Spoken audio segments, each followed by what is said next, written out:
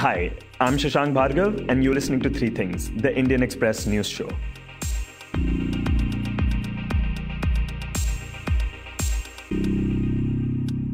Exactly one year ago, on the 5th of August 2019, the central government scrapped J&K's special status. It abrogated Article 370, scrapped Article 35A, and downgraded the state into two union territories, that of Jammu and Kashmir and Ladakh. J&K's special status is what had historically given it autonomy, what allowed it to have its own constitution, its own penal code, and what determined the right of permanent residence in the region. With the center's decision, all that was gone. Before it happened, there were rumors about it, but no one knew that it would actually happen. At least not the common people living there. After the decision was taken, the valley went under a stringent lockdown, was flooded with security forces, the internet was restricted, and reportedly thousands of people, including political leaders like former Chief Ministers Mehbooba Mufti and Omar Abdullah, were detained under the draconian Public Safety Act. Along with all this, there came promises that were made by the central government of prosperity, of peace, of development, and of integration. In this episode, we are looking at what happened to those promises and how this year has fared for the region. We will be talking to P. Vaidyanathan Iyer, who writes on politics and economy and who has been part of the team doing a series on Jammu and Kashmir for the newspaper. Vaidi, it has now been a year since the central government scrapped Jammu and Kashmir's special status and bifurcated the state into two union territories. When the decision was announced, a lot of BJP leaders had talked about how this decision will integrate the state, uh, curb militancy, and there were a lot of promises for the development of the state. Indian Express has been you know doing this series one year after august 5 that you have been part of and conceptualize so i wanted to talk to you about how this year has fared you know when we talk about some of these initial promises and also about the concerns that had been raised early on about this decision and how it might make the situation worse. So maybe we could start by talking about development. You know, there has always been this criticism that there is so much talk about security in J&K that there is no focus on development. So, what kind of progress have we seen in that regard? Yeah, since we're talking about development in Jammu and Kashmir, you know, one thing which one needs to kind of keep in mind, even before the abrogation of uh, the special status of Jammu and Kashmir on 5th August 2019, the state's people have been well off in terms of both, say, economic conditions as well as social conditions. Most indicators of the state's people are better than you know many other states in India. So Jammu and Kashmir has not really been so you know deprived of you know development that way. But in terms of just development over the last one year, if you look at you know 2015, I remember November 2015, I think if it was November 7th or 8th, the Prime Minister was in Sher-e-Kashmir. There was a rally there, and Prime Minister Narendra Modi was addressing the rally with you know Mufti Muhammad Saeed next to him in the podium, and you know that was when the Prime Minister talked about a rupees 80,000 crore package for Jammu and Kashmir. At that point of time, of course, you know, BJP and PDP were in alliance, and uh, Mufti Muhammad Saeed was the Chief Minister of the state. It was still a state then, 2015 the package was rupees 80,000 crores at that point of time in November 2015. You know, since then, almost five years have passed, and you know we have had governors rule since June 2018. You know, a year before even the abrogation that had happened. But you know, look at what has happened in terms of development through just if I take that one metric of the Prime Minister's development package for J&K, after having been bifurcated amount which was for development in J&K was about you know 58,000 crores, and of that, you know, just less than 50% or just about 49% of the funds have been released so far. So, you know, I would imagine that it is, you know, not more than 27, 28,000 crore that has been released so far under this development package. And if you just look at the buckets in which these developments can be, you know, you can put it under different buckets. One bucket is the cash component which goes towards say for instance restoration of houses which were destroyed you know following natural disasters floods etc then there were some compensations to be given those kind of money which had to be given had been given i think you know that part of development which is the most easiest you know where you have to give just cash as compensation for certain damages that have happened in the past. That has happened. But in terms of real development where infrastructure is concerned in the state, you know, laying up roadways or bridges of, you know, power projects, in those areas or even educational institutions or AIIMS like medical facilities, I think those have taken a long time. I think, you know, first three years got wasted in getting clearances. So even if I look at the total amount that was spent through the Prime Minister's development package in the last two years, it just adds up to about you know 10,000 crores in terms of projects that have been fully completed. But they're still languishing. Projects are languishing. Development hasn't really reached people. People still complain that you know the promises through full page advertisements that came after the abrogation of the special status of Jammu and Kashmir in local newspapers there in Srinagar. I think those promises haven't been met.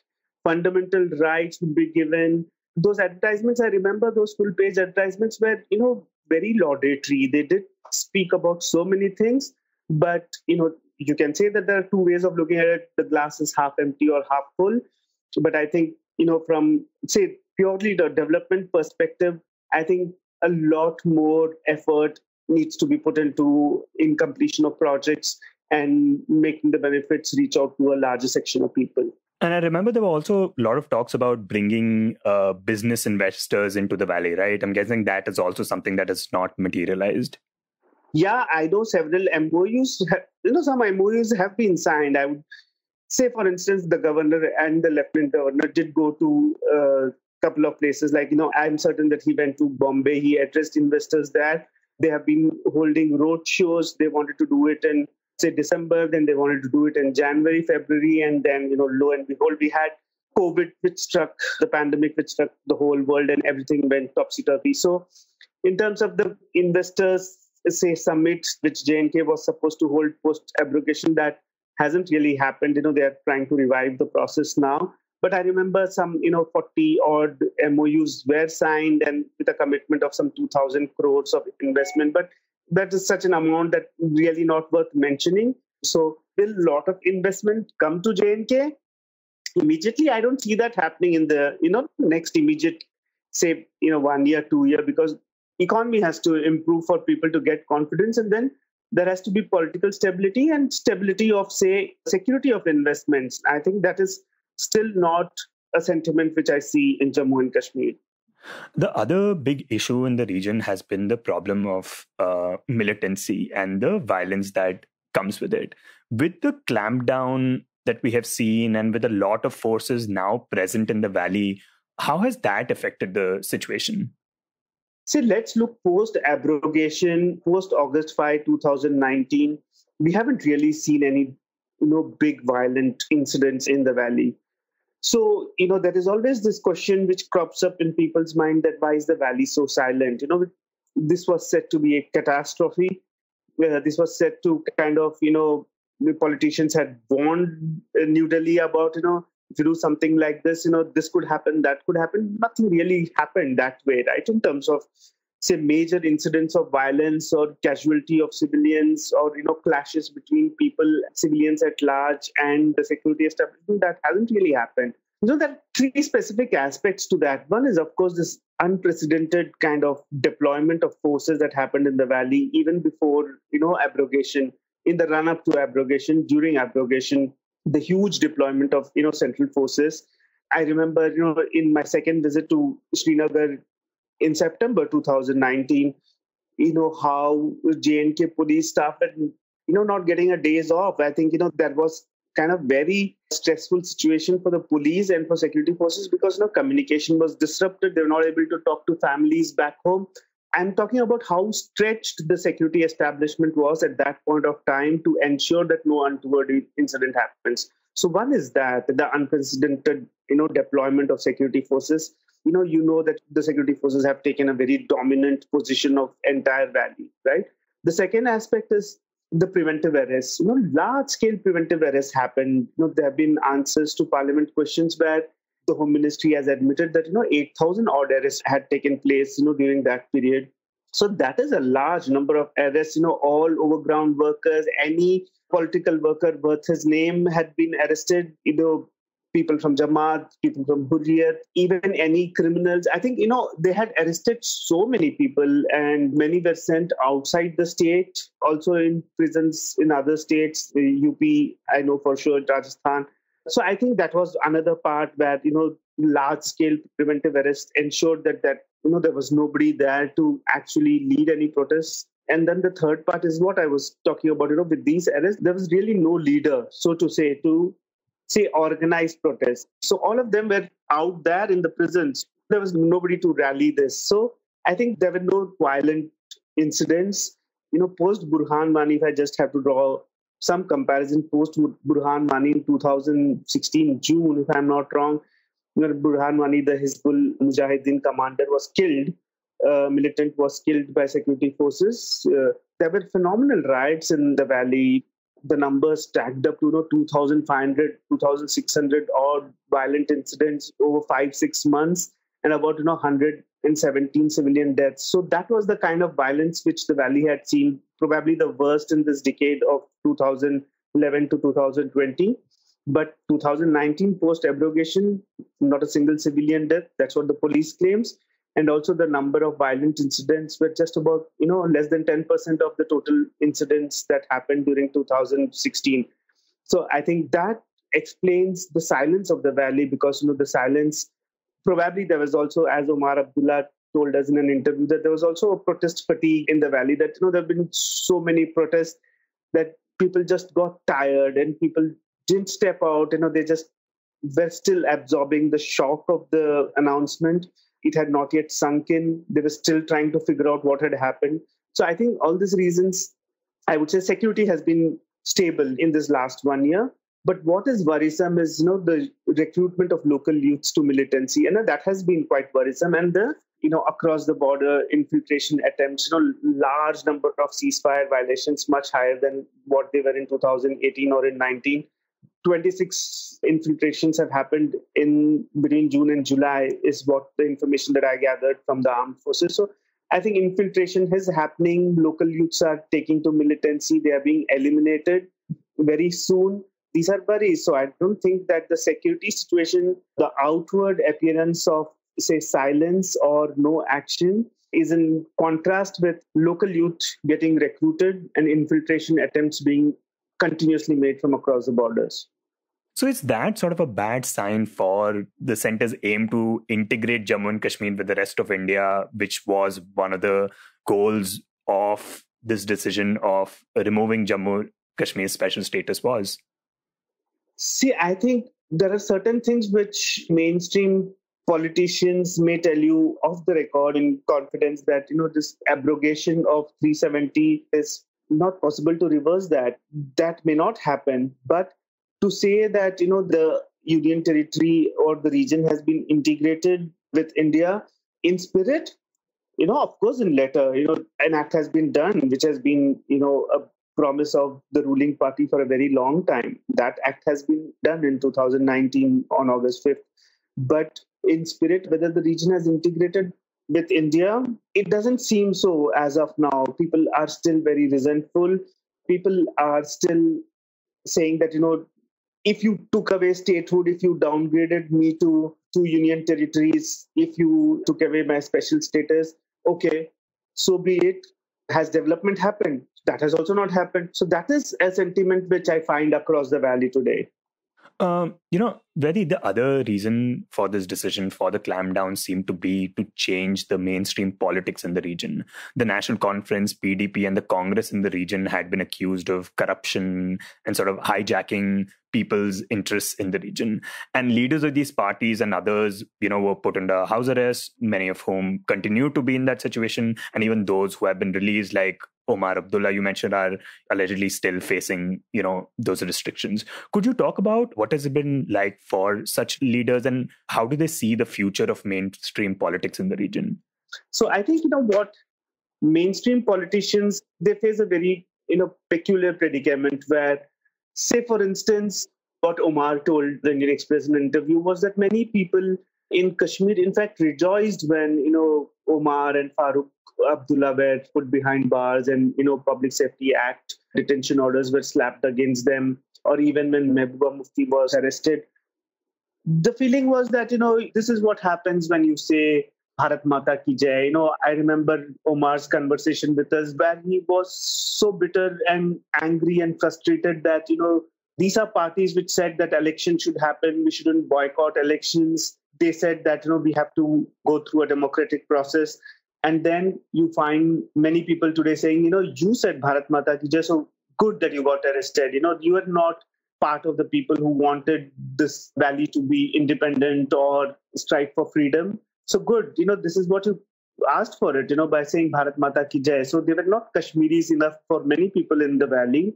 And they find themselves today not Indian enough, also, in the sense that they have been arrested for going through legitimate forms of protest and their voices were shut. So Omar found himself in a very peculiar predicament. He was very resentful and you know angry and frustrated and bitter about this. And he said that you know PDP or mainstream politicians were subject to an element of ridicule. He finds himself very difficult to uh, even think about the future of mainstream politics. Uh, you know what what will he go and tell people now? That is something he said that the national conference is still talking about and will kind of finalize as and when it meets but it has it has put mainstream politics definitely because now mainstream politics is the bridge between uh, the aspirations of the people and new delhi how to kind of do that in a democratic manner but by kind of almost demonizing them and then kind of putting them behind bars the kind of charges that were imposed on them i think those have left a bitter taste amongst mainstream politicians the other thing that the center was hoping for was that the grassroots politics at the panchayat level would change things. Uh, late 2018, there were elections that happened at the panchayat level. That time, the mainstream parties, NC and PDP, had boycotted the elections, and most people standing up in these elections had filed papers as independents. They said that, you know, they had risked their lives in doing so. And, you know, they had even met Amit Shah, came to Delhi, met Amit Shah, and Amit Shah had also given, at the time, given them support and sort of hope. Could you talk about what has happened since then and what has been like for, you know, those elected officials this past year? Yeah, I think, you know, for them also, last one year, I remember meeting them even after the abrogation. I met, you know, the president of the Jammu and Kashmir Panchayat Conference. You know, that's what an organization is called. I had met the president. Uh, we had called them over to our office in Srinagar to understand what is it that they were looking forward to having risked their lives. You know, post abrogation, what is it whether the government had or the prime minister had promised them were things actually falling in place for them in their respective panchayats. So the complaints then and when I visited it now, I visited last September, then I visited again in uh, last month. The complaints have remained the same. You can see that there are no panchayat offices in J&K hinterlands, in the Kashmir Valley hinterland. Many panchayats kind of share or meet at the sarpanch's house or they kind of meet at some common place. So there is no office infrastructure. How do you take care of any uh, office related work when you don't have a full time secretary or an accounts officer who can take care of your accounting processes. They don't have any of these infrastructure. And the worst part is that you know the government doesn't listen to them. There's actually a, almost a class difference which the sarpanches talk about where they say that you know why would a state government officer talk to us? They think that you know we are uneducated we are illiterate and we really don't know anything. So there is this huge feeling of you know having been left out in this whole process you know and come to think of it that the center said that you know they uh, expected you know 2022 MLAs to emerge from these sarpanches. You know, forget MLAs. I think these sarpanches are kind of first saying that, you know, give us what was promised first. You know, give us those departments, let the departments officials come for the Gram Sabha meetings. You know, Gram Sabhas in villages are very critical to take decisions which are cutting across several areas, be it, you know, erection of electricity poles or giving water lines or uh, filter water lines or say you know anything to do with agriculture animal husbandry fisheries whatever or industries. You know none of these departments officials come to the gram sabha meetings. They don't listen to sarpanches when they go to and sarpanches go to their offices they are given a very rough shoulder. So i think that that whole idea of empowering the panchayats is still to you know gain roots in the valley in the last one year, have panchayats emerged more stronger? No. Is there promise? Is there you know intent on the part of the government? Yes. but that intent has to translate. So, you know, what requires for it to translate on the ground is huge shakeup within the bureaucracy that, you know, this is something that needs to be done. And how can this be done? This can be done only when there is a political executive. You know, right now, bureaucracy doesn't really have a politician breathing down their necks, telling them, boss, this work has to be done, that work has to be done. So there is this huge void of political voices in the valley, which has to inform, guide, and kind of put pressure on the bureaucracy that is not there. There is accountability only to the LG or to themselves, you know, the chief secretary. Who else are they accountable to? They are not accountable to a political executive because there are no politicians there. There are no MLAs there. There is no assembly for the union territory right now. And one doesn't even know when these elections are going to happen. So that's so critical in a state. It's been a year. Election should have happened yesterday. You know, there should have been an assembly in place yesterday. There's no right or wrong time for you know political process to start in the valley. I think it has to start. That's the impression I got from talking to various sources within the security establishment and amongst different stakeholders. Dear listeners, sorry for this interruption, but before we move on to the rest of the show, I just wanted your quick attention. One of the big reasons people say they like this show is because it helps them understand the news better.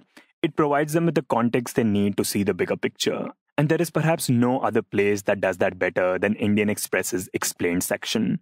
We on Three Things refer to the section regularly, and it helps us make this show. If you're a regular reader of Indian Express, you know how useful the explained section can be, especially when you're looking for in depth analysis by the right experts. You can log on to indianexpress.com slash explained and access the coverage 24-7. Explained by Indian Express, where news that matters is explained by experts who know the subject. Now, back to the show.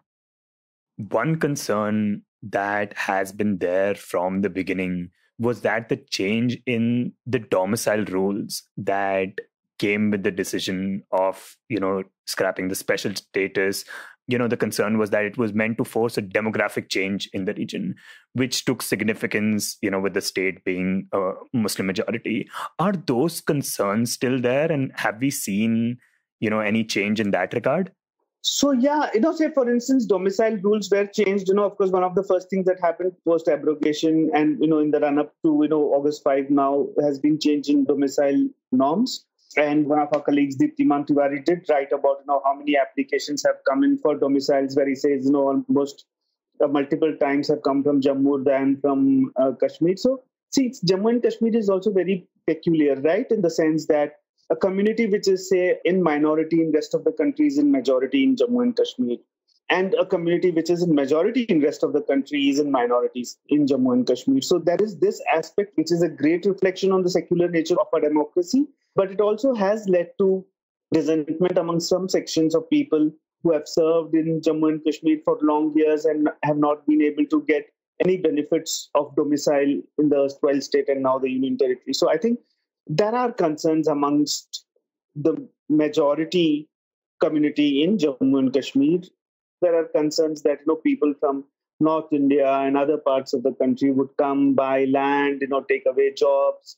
All of this separate the people of Jammu and Kashmir from the say land. So that is this worry in the minds of people.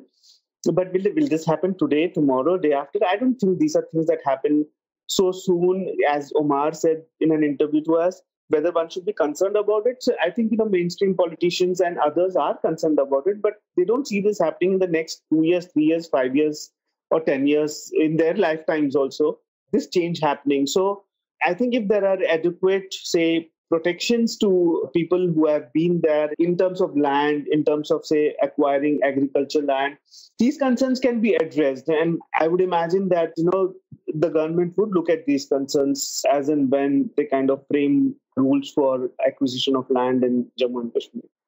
Very, um, the other problem that uh, you know has remained in the region is the problem of internet restrictions. And it started with concerns about security and it has continued. The center has not wanted 3G, 4G in the region. And the J&K administration, you know, wanted that too. But recently it has changed its opinion saying that it has no problem with 4G in the region. Uh, it has happened very recently. Do we know, you know, how long those restrictions will continue? One thing is very certain that you know these restrictions are uh, kind of a bogey of you know certain security agencies. Even the administration believes that these restrictions can make the region a safe place. I don't think so. You know very clearly that these restrictions are curbing the freedoms of people. Not just freedoms of people. Of course no freedom is individual freedom which supreme court has equated you know 4g connectivity with freedoms. But besides that it affects governance so much in the region you know health education all these aspects are so critical or even business is so critically dependent on internet connectivity. And to say that you know pakistan or enemy states are using internet to kind of upload files audio and video which kind of spread misinformation and are all false propaganda. I think that those continue to happen. I think all enemy states have devised various ways to get around this thing. And you know this requires an adequate security response and probably of informing people and and not really by banning it. You know banning internet is not going to solve any of the security concerns as has been done so far by the special committee which was ordered by the supreme court to be set up by the government. So one hopes and expects that these curbs on freedoms are removed and internet is restored so that you know it aids in this process of assimilation or of better governance in, in the valley and Jammu as well. You mentioned it briefly, you know, when we were talking about uh, a lot of arrests that had happened under PSA and so many people put under, you know, arrest and detained. Do we know how many of them continue to be in this position? so while the numbers of uh, PSA detainees is not say officially available or officially the police doesn't really tell you how many people are under psa but sources tell us that the number of people who still are under this you know gray zone of house arrest where they are not allowed to step out of the house and they have to get the magistrates or the civil administration's you know clearance before they can step out. I think these are what are holding back you know or not letting political conversations to happen in the valley there are many. I think in national conference, I would imagine there are about 20, 25 of them. I'm sure that there are others in other political parties also. We heard of how Saifuddin Soz is unable to step out of his home. There be reports about, you know, he being inside his home and not being allowed out. So those kind of things are happening quite a lot. And these probably are needless if New Delhi or this administration of the UT wants to kickstart the political process in the region. And very in the end, I want to know from you, from your visits to the region, what sense do we get about the sentiment on the ground, and what sense do we get about the future of the region? You know, from how this year has passed.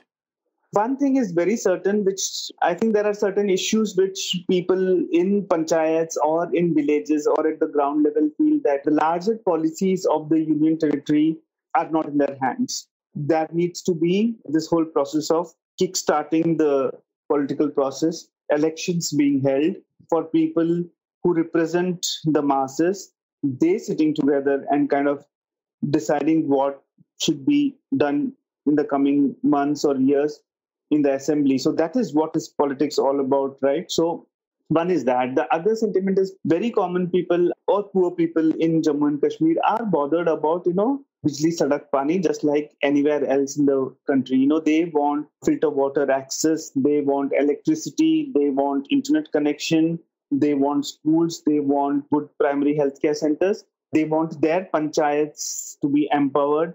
So I think those are the demands of the people at large. They also think that they have been deprived of, you know, the special status, but can development be expedited or fast tracked that you know they feel that have got something out of the bargain so that hasn't happened you know that is one expectation which one comes across uh, when you're visiting several places and now the one year anniversary of this decision is coinciding with the Bhumi Pujan of the Ram temple. What are the people's reactions about that? You know, uh, one thing which one also came across was this whole thing of while you know there have been demands about you know, how to celebrate or like you know some political parties saying that you know we should be allowed to you know hoist flags indian flags in every village panchayat. Those kind of demands have been happening locally by you know bjp in the valley. But i think you know even within the administration there was a sense that this may not be the best thing to do especially on a day which marks one year of abrogation there is this Ayodhya Bhumi Pujan happening, you know, coming after you know this whole you know demolition of Babri Masjid, and then eventually you know Supreme Court finally giving the land to the Hindu parties to build a Ram temple. So I think there is this sense of unease or discomfort or kind of a bitter taste in people about you know drawing parallels between August 5th abrogation and doing a grand function or a Bhumi Pujan at Ayodhya, which was built following the destruction of Babri Masjid. So I think this was something which one could see that, you know, people telling you that was it needed? Did you really have to do it? You know, those were questions being asked.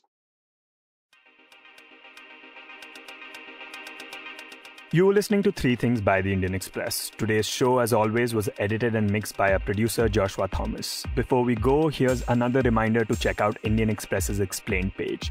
You can log on to indianexpress.com slash explain and find in-depth analysis by the right experts. It has everything you need to know to understand the news better and see the bigger picture. If you like this show, then you can subscribe to us wherever you get your podcasts. You can also recommend the show to someone you think will like it, share it with a friend or someone in your family. It's the best way for people to get to know about us. You can also tweet us at Express Audio and write to us at podcast at the rate indianexpress.com.